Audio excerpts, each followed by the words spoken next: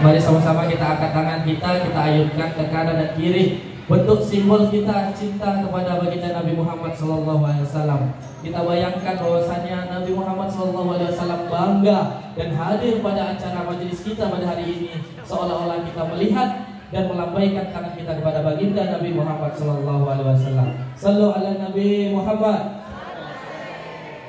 Ra